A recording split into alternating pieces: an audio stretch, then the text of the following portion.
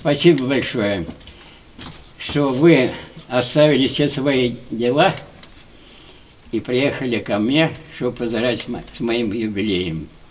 Не мог Это, по-другому. это для меня большая-большая честь. В Смоленске я проживаю с 1947 года. В памяти меня остались два руководителя. Это Доронин и Клименко. И третий – это вы. Спасибо большое, Федор Иванович. Для Я- меня большая честь оказаться Я- в числе этих руководителей. Вы нужны нам, Смоленщина. Спасибо огромное. Вы один из руководителей, который близко к народу.